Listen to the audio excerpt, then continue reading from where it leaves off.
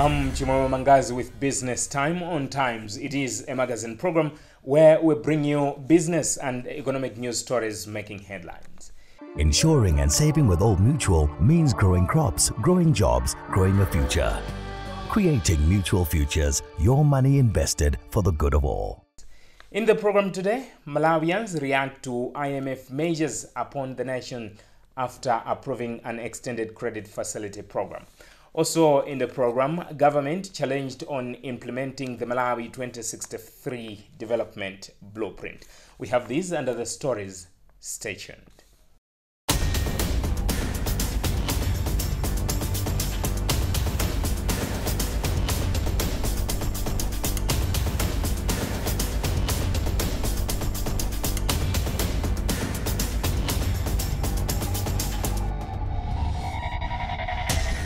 Hello and welcome.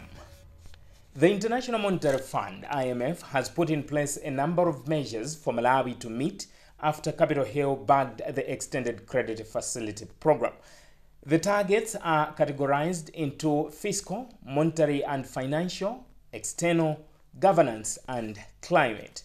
But what do Malawians make of the situation, especially in regard to suggested tax measures?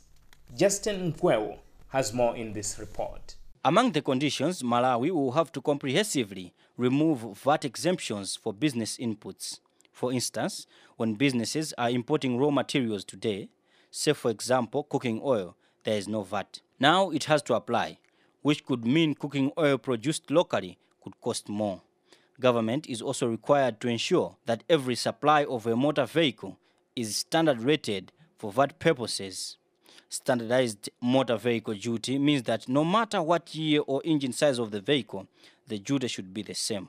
Government should also repeal VAT relief for building materials such that all suppliers of building materials, construction services and commercial property are standard rated. Currently, when one is buying building materials for commercial construction, there is no VAT. On duty-free imports, IMF says government should repeal VAT relief for current and former politicians, senior public officials, judges, and other similar privileged individuals and groups. In other words, governments should remove duty-free service on judges, politicians, and others and put VAT on the importation of their motor vehicles.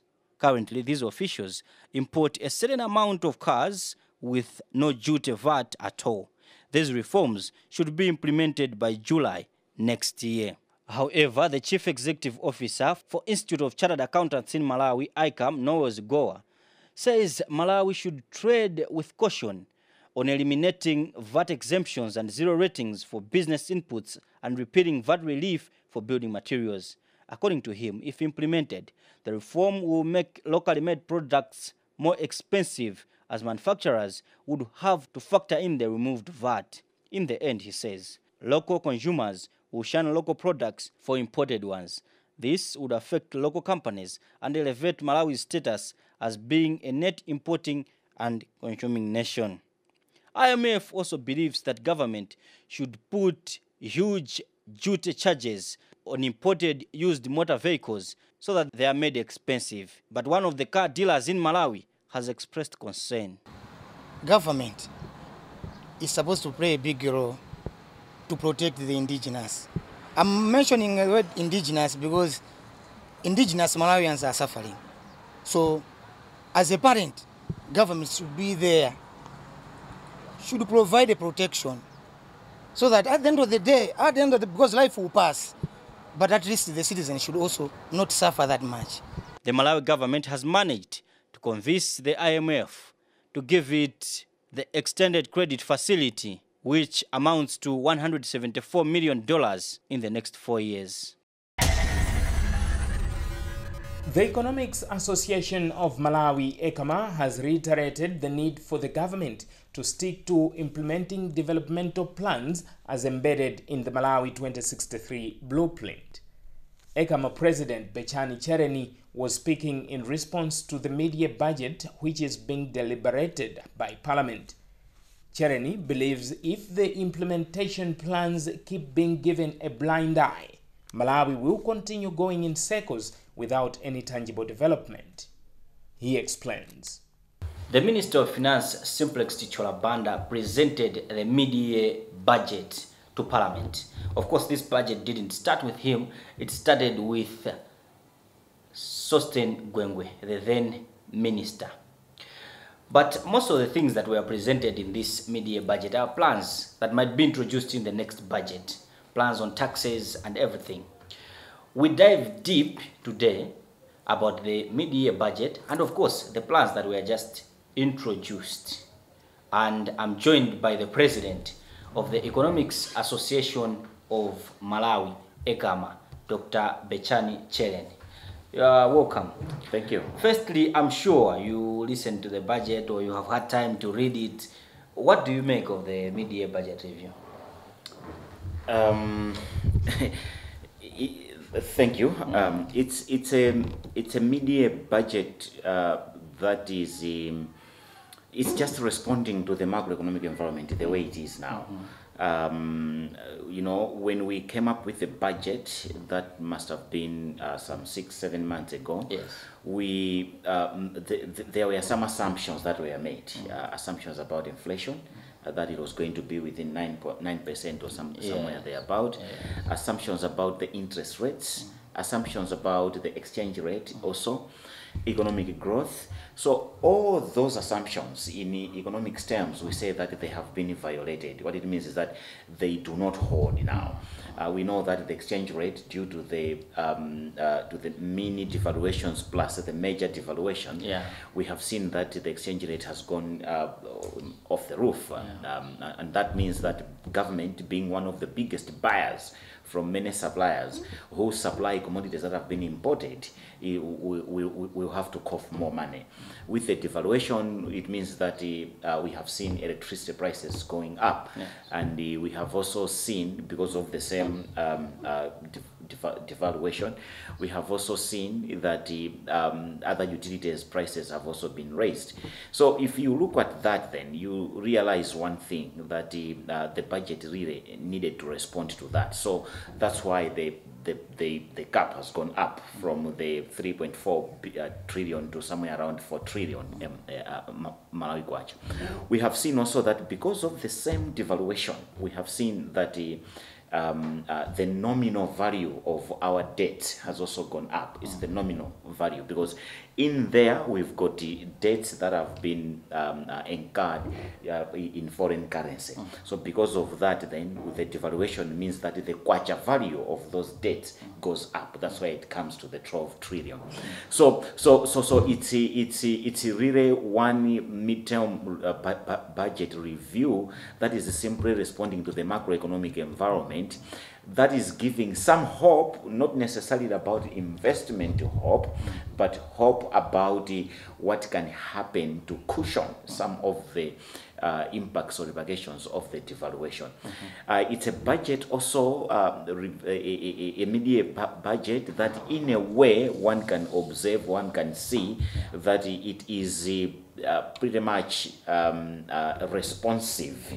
What do I mean by responsive? Um, you, what, what, what one would have wanted to sit down and consider what should we do to you know shock the economy for growth, but that opportunity has not been there because of the macroeconomic environment. Inflation rate is, is, is, is to the north of 27%, I Yes, think. yes. And so when inflation rate is that high, exchange rate is that, that misbehaving, uh, the policy rate itself also responding again to the same macroeconomic environment, then the budget really cannot cannot be cannot give enough space to the Minister of Finance for him really to bring in the investment and all projects part. Uh-huh, uh-huh. So we need a cure for the economy, and part of that cure really is to do what you say in uh-huh, Parliament in the budget statement. If you say that this year we're not going to buy any new car for any senior government official, mean that exactly that because that way then we are going to save the foreign exchange, we are going to save even the budget itself. If if if it means that this year we are going to have a, a factory in each constituency rather than a constituency development fund, mm. let's do that because I am an industry economist based on that. I always say that the constituency Development Fund is not necessarily helping to grow and develop the country. Mm. No, it is not. Mm. It is helping to buy votes for people. But we want an expenditure that is going to assist in creating jobs. If we have a factory in each constituency, it means 193 factories. If in each factory we are employing, say, for example, 200 people, if you do your maths, it means that we are uh, quite somewhere high. People being employed, people getting jobs, and people people's poverty getting dealt with. With that, also, it means that we are going to collect more domestic taxes. You know. But for the next budget, what Yeah. do you think are the main reforms and projects that the country should focus on? You see, the MIP one Malawi um, uh, implementation uh, uh, plan Yes. number one, it's it's a blueprint that if we can just religiously follow that, uh-huh. then we should not have any problems as a country. Religiously so, uh-huh. because we are not religiously funding or financing that blueprint. Uh-huh. If if for, for, for example the MIP one says that by 2023 uh, by or by 2024 we want to see a, a, a 1000 megawatt electricity generating plant somewhere whether it's up north or where. Let's finance that let's let's finance that. If you are saying that we are going to see a malawi development corporation let's finance that. If you are saying we are going to see a university somewhere in the north mm. let's finance that. So so so for me there's no need for any reform. Mm. There's, there's no need for any reform. There's just need for a discipline to follow what we have purposed to be the the, the trajectory that is transformative for the economy so so so so so, so if for, for for for example 5 trillion kwacha is going to to be spent on the MIP 1 and the MIP 1 alone. Closing our ears, closing our eyes, whatever somebody says, we don't listen, we just do according to the MIP, 1. That, if we can do that for four or five years, even for two years, I challenge, hmm. this country's transformation will be very, very clear. Uh, now there have been uh, promises of probably a resumption in terms of direct budget support.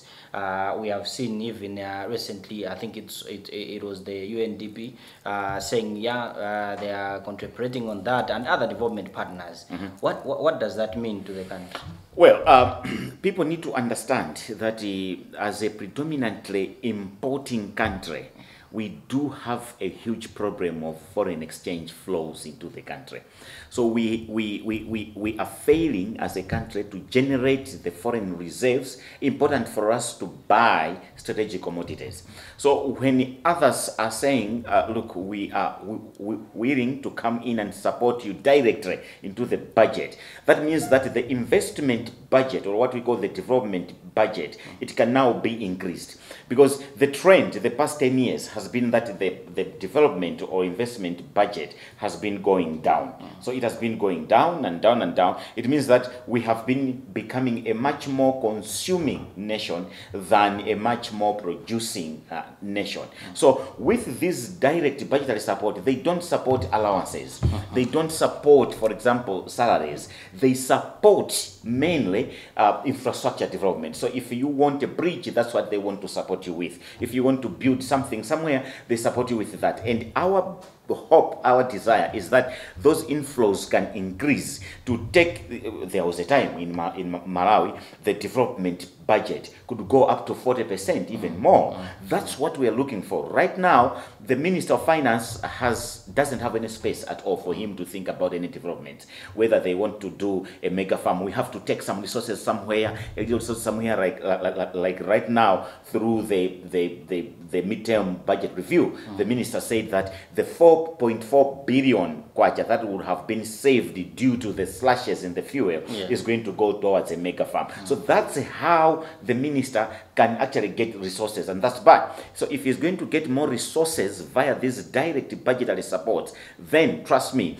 we can begin to see some tra- tra- transformation happening. We want to be a predominantly producing and exporting country. What are we going to export if we don't have the machines? What are we going to pro- to to to to uh, a, a, a, to produce if we don't have the raw materials? So we need the raw materials, we need the machines, we need that. That's why. So they need to understand why the commitment was made that these things must be zero rated. Because we, we we now get the tax from income tax that comes from there, the income tax, and then there is also the sales tax that you get from there. That's what we now get. So if somebody is going to sit and say that, look, um, uh, you are the IMF, if they are very, very um, uh, proper people, they should tell us two things. Number one, um, uh, start taxing people when they enter the country to to to to, to do mining. That's what we want. So, so they, but they're avoiding that. Why? That's what they, they must tell us that if, if somebody is going to come here with a mining company and they want to mine, don't give them a five year tax holiday. Mm. Give them a six month tax holiday so that you can start to tax earlier. That's what we need. They should also tell us, which is quite a very, very common knowledge, that there are so many people who are not being taxed. Mm. Can you start to tax them? Mm. That again is what we need. All right. Well, that's our chat with the president of Economics Association of Malawi, Dr. Bechani uh, Chereni, on the uh, budget, the media budget, and of course, maybe what we should expect from the coming budget. Keep watching Times TV. This is business time coming to you courtesy of Odd Mutual Malawi. We'll be right back. kumalawi timanena kuti chuma chili munthaka ndipo izi ndi zoona mutha kuziona zimenezi paliponse dzina langa ndi chris gadiman ndipo ndimayang'anira banja langa pogwira ntchito ku galamax macadamia nut farm. Zonse zimayambira pa nazale pano. Timasamalira mphukira kuti tikwanitse kudzala mitengo yambiri. Mitengo iyi ikakula timasankhamo mtedza wabwino kwambiri okhaokha. Timafuna kuti mtedza wa macadamia wa ku malawi uzidziwika kuti ndi wabwino koposa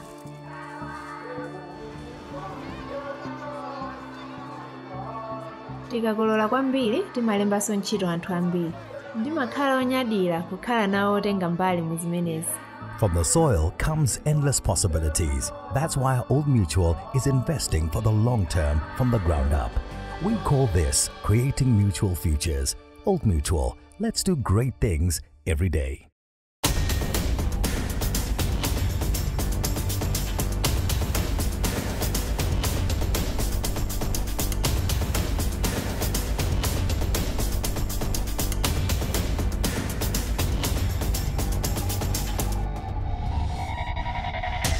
Welcome back.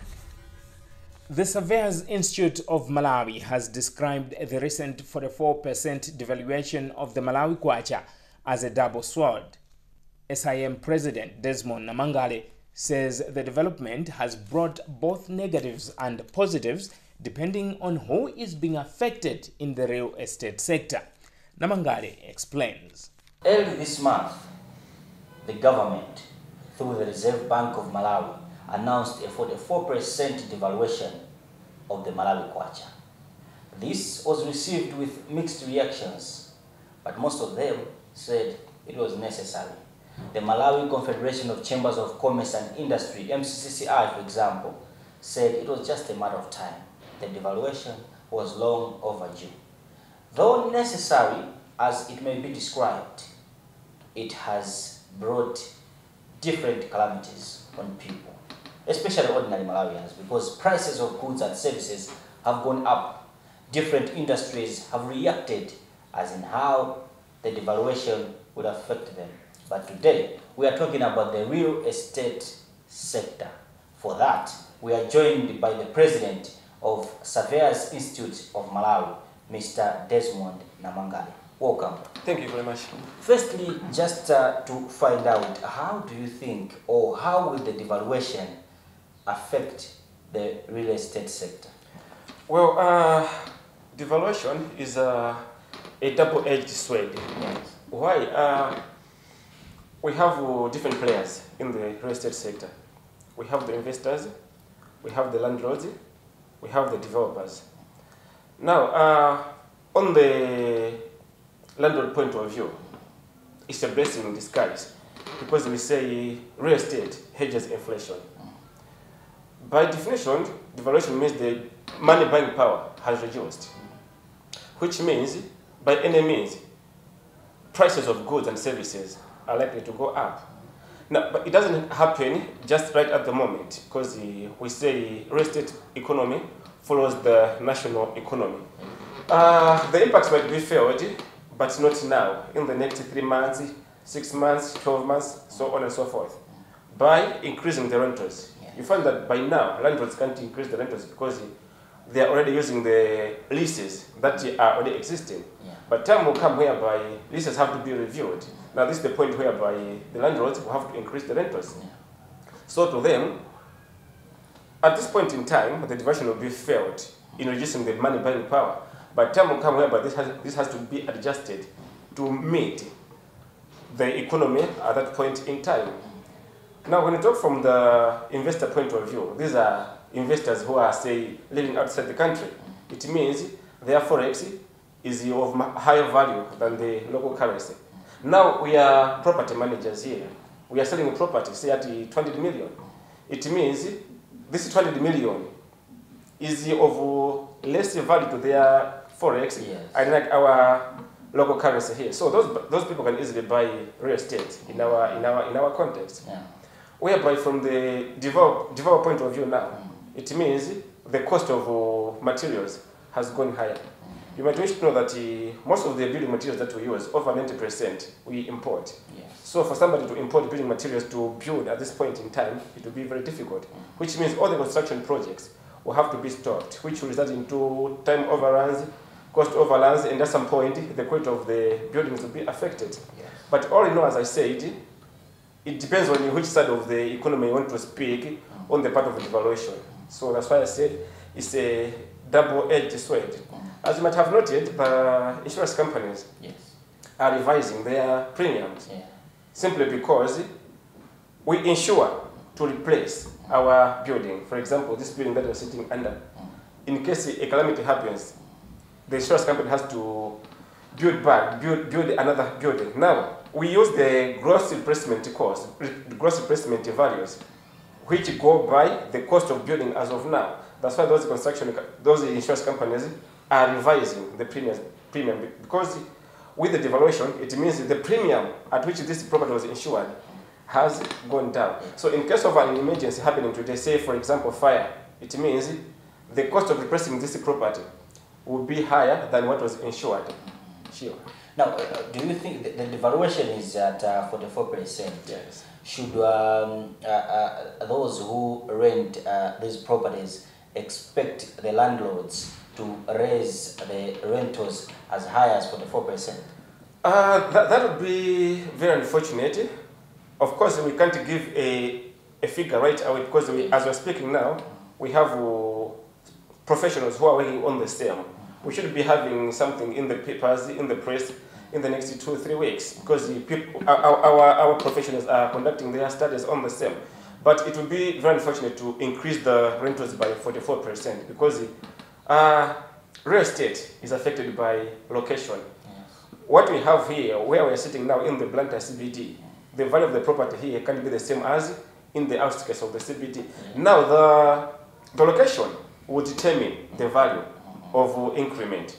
Because you, you could have this, this building here, but there is no demand. So even if you increase the rentals, who will occupy it? Nobody. There has to be demand first, and when demand is high, it means the price will go up. But you can't increase the prices, and yet there's no, there's no demand. Who are you increasing the, the, the supply, the, the, the price for? Yes. Yeah, so there, there has to be caution exercise because just because you have had the devaluation doesn't automatically mean that you increase the rentals by 44%. Because there has to be demand for this uh, space here for us to increase the rentals. If there's no demand, there's no sense of increasing the rentals. General insurance companies under the Insurance Association of Malawi IAM have unveiled an automated motor vehicle insurance system linked to the Malawi Traffic Information System. The digital system, which has been in use since October this year, will enable clients to insure automobiles online and further ensure efficiency. IAM Innovation Committee Chairperson Don Donbel Mandala says the technology will allow clients pay for their vehicles insurance at their convenience. Mandala explains. We as a market, an insurance market in Malawi, we are so excited to launch this digital certificate. Uh, basically, the digital certificate can be issued online and any time of the day and from any of our offices as insurance companies. Basically, apart from the first, the convenience, for us as well, the milestone is coming in from the sense that the previous disc used to be uh, easily forged, but this one, because it's digital, it cannot be easily forged. Secondly, the more convenience that you as a customer, you'll be able to verify the validity of the disk whilst you're sitting in the comfort of your house through the uh, code star 4273 hash from any phone that you have. From our end, as insurance companies, uh, we really are working towards embracing this digital environment, and that's why we have said that the old disk will never be issued again after 31st December 2024, 2023. So it means every insurance company is now pushed to issue the disks that are digital. Now, for you, our customers, we'll be forcing you to accept the technology because we will not issue any other disk apart from this digital disk come 1st January. So we believe that you will be able to embrace it and being convenient, it also be easier for you to access us. It took us uh, too long and um, it's anything else like anyone else you find that you got a certain habit that you want to do, it take it too long to get there, but once you get it, you get excited. So we're so excited about this innovation that we have brought in, this digital certificate. So as mentioned earlier, there is a lot that will come after this digital certificate. One of the things is that we also create um, a WhatsApp uh, chatbot with digital certificate in future, and that when you're involved in an accident, we'll be able to use that facility to call for a towing car, but also to call for an ambulance, and also to notify your insurance immediately. But also take pictures around of your vehicle and also load them to show that indeed the accident happened at that particular time at that particular location. But that's for the next six or 12 months coming from 2024. I'll start with the Forex 7. The previous discs, we used to order them from Bahrain and we're paying in a lot of dollars. I think on average, uh, if you order 200,000 discs, we're paying close to $100,000. So obviously, these ones, we're not paying dollars, we're issuing them online. You're printing from an ordinary paper, no longer that scientific uh, security paper. So we're already saving Forex on there, maybe 400,000 a year.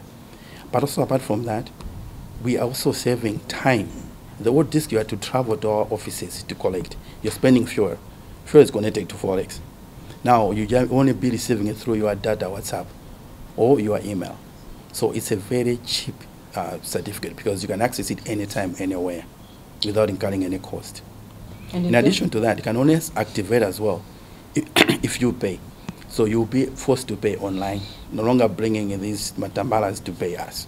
Uh, the other ones were being for in the sense that uh, they were uh, pre-printed disc, so we would print the disc, and then people would go and edit the the, uh, the, the registration number or the chassis number, because they used to fade, so they'll go and just re-edit them.